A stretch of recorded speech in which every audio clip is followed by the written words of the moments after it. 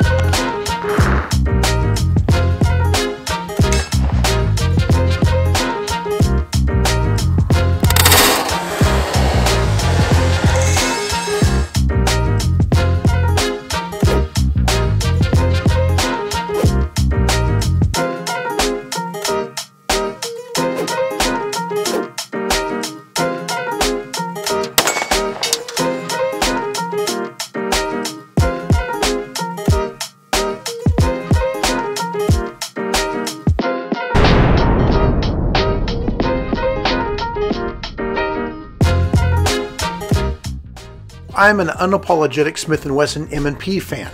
I was issued my first M&P in 2017 when my agency switched from the stainless steel Generation 3 Smith 4006 to the Generation 1 Smith & Wesson M&P 40. At the instructor course, I shot so well with my new Smith that I quickly went out and bought my own M&P pistols in 45 and 9mm. I now own quite a few M&P pistols and they get carried about as much as my beloved Glocks. One product that we Smith & Wesson fans have been shouting for since the beginning of the line was a large frame M&P in the all-powerful, glorious, soul-crushing 10mm. I've carried 10mm for quite a few years now, mostly when I'm backpacking in the high country, where the threat of surly animals far outweighs the threat of surly felons. It's become a favorite of mine on the flatland as well, where those surly felons might be wearing thicker clothing like leather biker jackets or puffy raiders jackets. But as we all know, the Glock 20 is one thick, bulky pistol. Grabbing onto it is like grabbing onto Rosie O'Donnell's ankles, and why anyone would be doing that is beyond me. While the Glock 20 has been a great trail and campsite companion, I and other Smith & Wesson fans have been wondering for years why they couldn't take their large size M&P 45 frame and beef it up to handle the hydrogen bomb that is the 10mm round. At least the real 10mm rounds. Well, last month Smith & Wesson finally heard us wailing into the night and they released their new M&P 10mm. Don't confuse this with the M&P 10, that's a 308 caliber rifle, but the M&P 10mm pistol. These new pistols come in the typical 4.6 inch frame and the shortened 4 inch frame, just like their 45 caliber older brothers. I have the 4.6 inch M&P 45 and I love the damn thing. I even made a video about how to carry it in an appendix rig made by Vedder Holsters. If you haven't seen that gem of a video, wait until this one is over, then grab a cigarette and a Gatorade and go watch it before doing anything else today. Hell, you're most likely on the toilet right now anyway, so you've got plenty of time to watch both videos. By the way, reach behind you and give us a courtesy flush, will you? As soon as I heard the news about Smith & Wesson coming out with this new 10mm, I broke several traffic laws getting to my dealer's shop, only to find out that none of his distributors could get their hands on one. These pistols were that popular. I eventually lowered myself to ooching around in the urine-scented back alley that is gunbroker.com. Yeah, I was that desperate to get my hands on one of these new pistols. Don't even ask me what I had to do there to secure one of these. By the way, does anyone have a breath mint? Smith announced that these pistols would MSRP in the mid $600 range, and I was lucky enough to find one eh, higher than that. But if you're not first, you're last. The M&P 10mm that I found was the 4.6 inch model. They had both models, but I chose this over the 4 inch model because my 45 is the same exact size, and I wanted all my holsters to be interchangeable. And I figured this wasn't ever going to be a small, deep concealment gun for me, so I might as well get the full length barrel to take advantage of that extra 0.6 inches of barrel length and the ever so slight increase in 10 millimeter velocity. The one I chose was advertised as having no safety, something I consider mandatory these days, since my dainty hands have a way of activating any manual safety at all the wrong times. Well, just like one would expect from Gunbroker, the pistol arrived with a safety. I thought I could live with it, but once again, I proved that having the hands the size of catcher's mitts made drawing and shooting the M&P 10mm difficult without accidentally activating that safety. And you know, the day I needed that pistol, as I was being raped by a cougar, Call me the fuzzy mountain kind with claws and sharp teeth, I wouldn't be able to get that safety off, and I'd end up eaten by a big cat and pooped out as some kind of a nasty civet coffee in some remote canyon of the high Sierras. It was an effortless project to find some of those little black frame safety plugs on eBay, and when they arrived, I had that safety removed faster than a rabbit humping a football. Now, my M&P 10mm was just about perfect. Wait, what's that weird shaped panel on the top of the slide? Well, Smith & Wesson offers this pistol optics ready like all of their core pistols with a removable polymer plate that comes off quickly and allows the mounting of just about any red or green optic that your little blurry eyes could desire. I just happen to have a Holosun 507C with a green dot sitting around, and I thought what better place to install it than on this 10mm beast of a pistol. The Smith & Wesson 10 comes with quite a few thin plastic mounting plates and one thin anodized aluminum one right there in the box. Now, some people have bitched about the plates being plastic, but this didn't really bother me. I trusted that Smith & Wesson knew what they were doing. I'm the trusting type, and maybe a little bit too much. One day I'll probably end up duct taped in the back of a carpeted van on my way to an auction in Saudi Arabia. What? It could happen. Here's the truly badass part. Smith & Wesson ships this new 10mm pistol with suppressor height sights for use with a red dot optic. That's right you don't have to buy a set of aftermarket sights to work with your optic. This saves you about $100 right off the bat. These taller sights are easy to use even if you don't have an optic or don't plan on ever putting one on your gun. This was a brilliant move by Smith & Wesson and makes it clear that red dot guns are kind of the way things are headed despite how much us Fudds have dug in and tried to deny the trend. As you can clearly see here, it was easy to co-witness the sights right through the optic's glass. If the battery ever dies or if the optic is shattered somehow, the pistol is still very usable. Use your knife or a multi-tool and punch out that broken glass and you're back in the fight with sturdy steel 3-dot sights. So a few of the reviews I'd seen on the M&P pistol that had Holosun optics mounted on top ended up with one of the mounting screws shearing off under the 10mm recoil and the optic taking a lover's leap off the top of the reviewer's gun. This obviously isn't the fault of Smith & Wesson. It's not the gun, it's the mounting screws that were supplied by Holosun.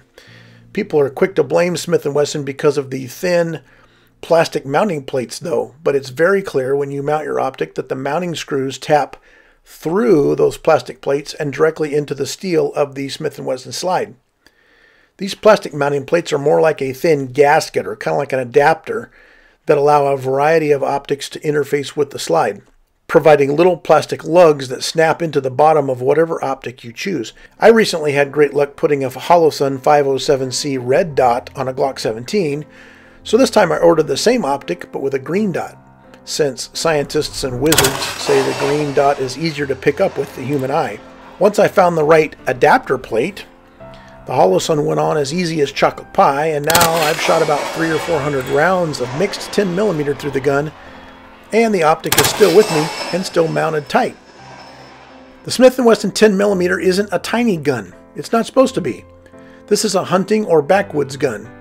It can be easily carried concealed, as long as you have a decent cover garment that hangs low enough, but that's not really the purpose of this fistful of hate. It has almost the exact same front to back dimensions as my Glock 20, but the width is noticeably thinner than the Glock 20, which looks a lot like the deck of an aircraft carrier when you're looking down the sights. I used the new calipers that Mrs. OG gave me at Christmas and measured the widest part of this Smith & Wesson 10mm pistol right here above the frame at just a little bit over 1 inch. 1.1 inches is what I kept coming up with. The new M&P 10mm isn't much bigger than my Glock 17, but having all those extra foot-pounds of energy stacked up in the magazine is a big bonus. The pistol stands a proud 5.6 inches tall, and my 4.6 inch barreled model ends up being 7.9 inches long from the tip of the barrel to the back of the grip. It's advertised as weighing 29.3 ounces empty, but I weighed mine after the Holosun was mounted without a magazine and came up with 27.8 ounces and 40.6 ounces with a full magazine of 15 rounds and the one chambered round sitting there for good measure. I've carried this monster for the better part of a month now, and a sturdy gun belt is imperative to a comfortable day with the gun on your side. While we're talking about carrying, Vedder Holsters in Ocala, Florida has recently signed on to sponsor OG's Danger Show. Can you believe that shit? We'll talk about that more later. But in my Shark Tank style negotiations with the guys at Vedder, I asked them to make me a Kydex rig for the M&P with an optic cut as well as a double magazine pouch in a matching color, even though I only have one spare magazine for this pistol right now. I was truly impressed with the gear they sent. This heavy-duty Kydex holster secures the big M&P 10mm tight to my side, even after a day of lugging this thing all over creation. Vedder Holsters also sent me one of their new Cobra gun belts, and I haven't used this thing extensively. I've been wearing my Vedder holster so far with my next belt, but I plan on running this Cobra belt real soon and I'll give you a fair evaluation coming up. As you would expect, the pistol snaps in nice and snug and there's no wiggling or rattling around. The matching gray double magazine pouch allows me to carry 46 total rounds of powerful 10mm on my person once I get that additional magazine. For now, a multi-tool slides in that open magazine pouch and allows me one spare magazine and a multi-tool. Gangsters, if you are looking for quality Kydex carry gear that is reasonably priced, that's not as expensive as your damn gun, use the affiliate link that I put in the description section right below this video and tell Vedder Holsters you want what OG has. You know I genuinely like their stuff before they even approached me because I raved about it in a video that I made on the Smith & Wesson M&P 45 about a year ago. It's good quality stuff, and I used it a long time before they even contacted me. You've probably noticed the new style, mostly straight, trigger on the new M&P 10 with a little trigger safety that all the cool guys are calling a dingus. This trigger is just a larger version of the flat face trigger that came on my Shield 9 Plus last spring, and I think it's a huge improvement over the hinged, curved trigger that the original Smiths had. There's even a built-in over-travel stop molded to the frame. Smith & Wesson advertises the trigger pull weight of the M&P 10mm as 5.5 pounds, but try as I might, I could never get more than 3 pounds 8 ounces with my Lyman digital trigger pull gauge. The average of three trigger pulls was 3.35 pounds, but don't go thinking this is some type of hair trigger. It has a very definitive two stages and the travel can be taken up and the trigger staged against the wall without any fear of breaking the sear and firing around. When the trigger is pressed just a little bit more, there's a nice crisp break and I was not able to detect any grittiness or sponginess to it like some other testers have noticed. It feels like a plastic trigger group, but a good plastic trigger group. And remember, we tend to geek out about precision triggers, but this is a self-defense style pistol, designed for shooting dangerous things quickly and rather close. It's not a precision rifle, and getting all wrapped around the axle over a pistol's trigger when most guys can't even shoot a tenth of the gun's potential is a waste of time and energy. It's just something we fret about on the internet and go out and spend extra money on to fix, but it won't actually affect the way we shoot this pistol in real life. In fact, I was able to do some surprising long range work with this pistol and its stock trigger, but more about that in just a few. One of the main complaints I hear from guys who own the Gen 2 Smiths is about their little half serrations they added to the front of the slide, presumably for press checking. We can all agree those little cuts were way too tiny to actually accomplish anything, but they made the Generation 2 pistols look better, in my opinion. Well, Smith heard the complaints loud and clear, and they added more of these squiggly scallops to the upper portion of the slide, not only making the pistol look really nice, but making for a solid finger purchase if you are one of those who press checks your pistol for a live round, and you should be. The takedown lever is the same as it's always been, But here's another nice surprise. Smith got the slide release right, something not many pistol makers have taken the time to do. Almost all of the little levers we see on modern pistols these days are actually slide stops, not releases. You can tell because they typically have serrations facing down, allowing you to easily push up on the lever with your thumb and lock the slide open manually. These thin little pieces of bent metal are almost always a bastard when you use them to try and release the slide though, because they're not really designed for it. Most manuals that come with pistols these days even advocate the use of the overhand method for releasing the slide. Smith was famous for having a slide stop lever that was nearly impossible to use as a release because it was so stiff, especially when it was new. Well, they figured their shit out, and by bending the lever just a little outward, kind of curving it here, they have now made a very easy to use slide release that is serrated top and bottom all the way across, allowing it to be used as a slide stop as well. Hey, let's talk about those magazines for a second. Of course, they look just like the all-metal M&P 45 magazines, and that's because they are. Only the feed lips on the magazines are any different. The 10mm magazines have a bright yellow follower, while the 45 magazines have a black follower. If you're colorblind or just a forgetful clown like me, you might just want to label the mags with their appropriate caliber, even though the front of the magazines come from the factory engraved with the proper model and caliber on them You asked, OG, you just showed us how the 45 is so close to the 10 millimeter. Will the 10 millimeter feed out of a 45 magazine? These are rather expensive magazines. They're not always easy to find. I get mine on gun magazine, gunmagwarehouse.com, something like that.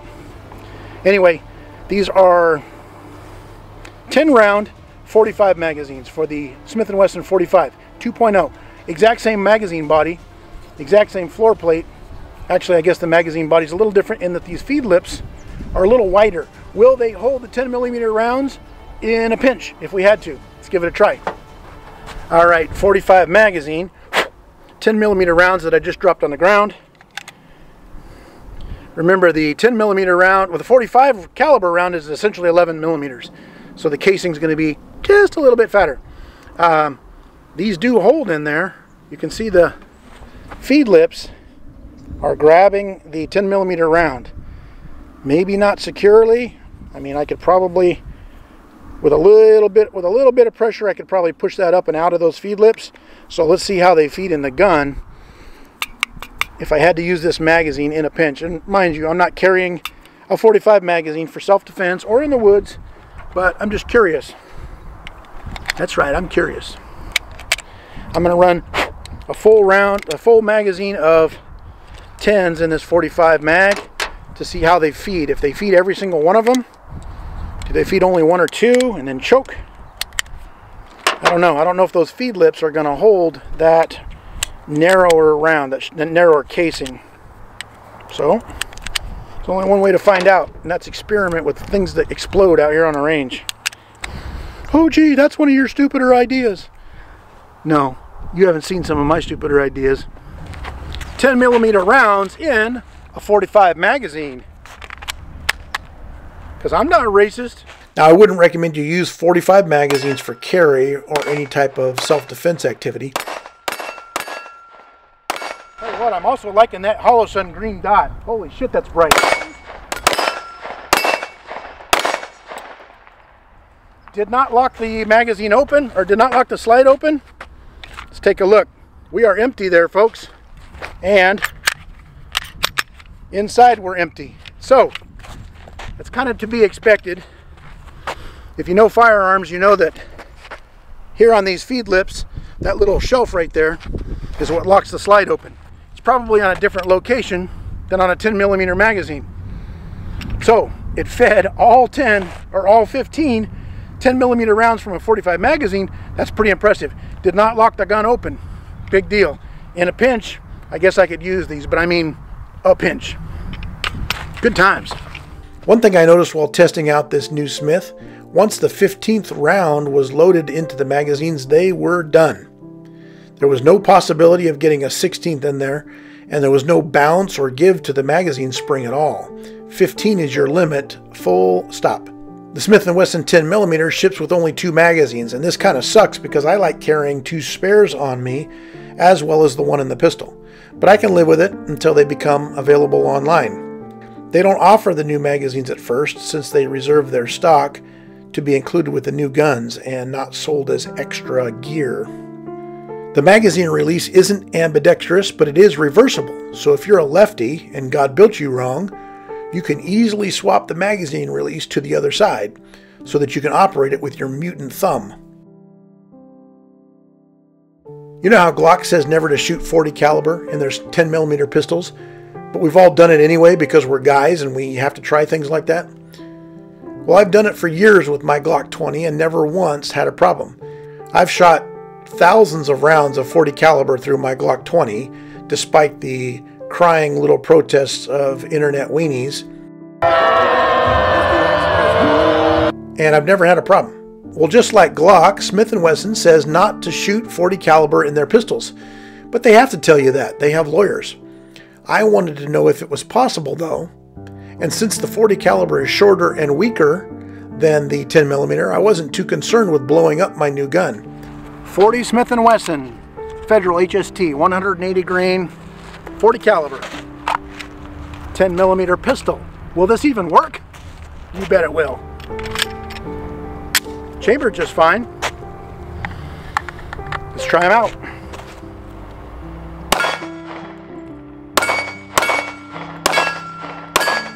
It's actually a rather pleasant shooting gun in 40.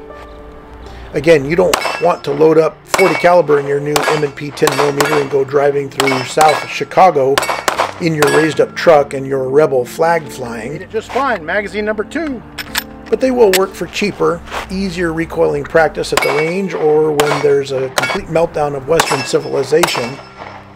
And the only thing being traded at the town market is canned meat and 40 caliber ammunition.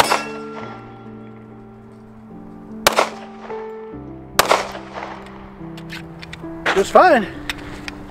The grip texture is once again pretty rough, but I never intend to carry this big old pistol up against my skin in a deep concealment role so I'm not really going to file it down or anything. In fact, I found the aggressive texture to be a great help when controlling this pistol. Despite what you hear on internet forums or from those geniuses at your local gun store, the 10mm doesn't really have a punishing kick. It's more than a 9mm, but usually about the same as a 45 to most people. I have a couple little 9s and 40s that kick like a bastard, but I still love shooting them, and I found this large frame Smith & Wesson 10mm to be very easy to shoot with rather mild felt recoil. Now, internet commandos will warn you that most of the ammo you find for sale commercially isn't loaded hot. It's loaded more like 40 caliber rounds, and that's true. But I ran a lot of rounds from Fiocchi through mine, along with SIG V Crown, Nosler, and the much hotter Underwood and double tap loads.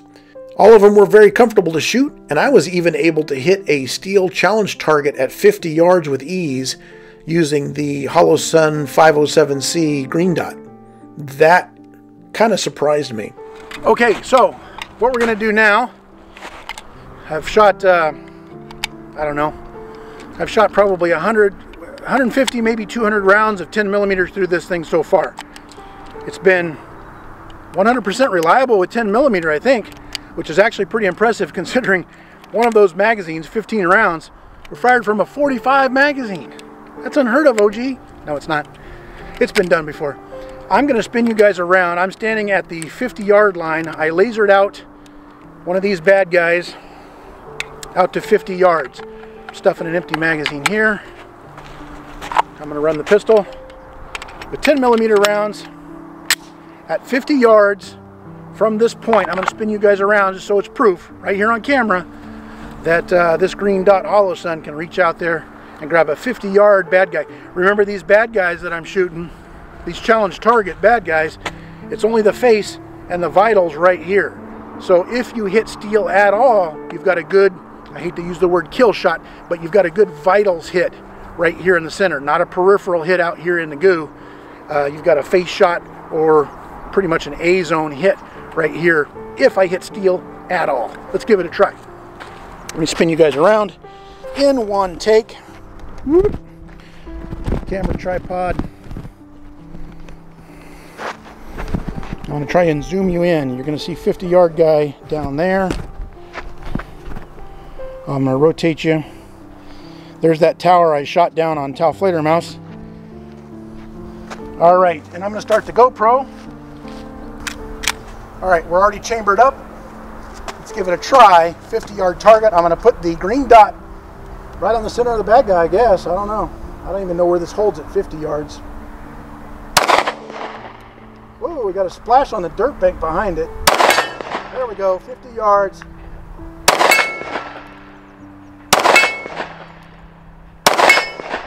Well, starting to get kind of kind of boring.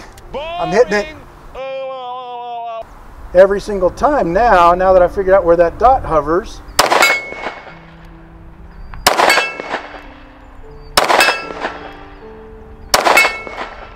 Eric Hill, this is for you, buddy.